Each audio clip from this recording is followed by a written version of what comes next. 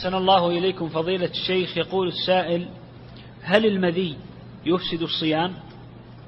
إذا كان لشهوة ونظر يفسد الصيام لأنه شهوة.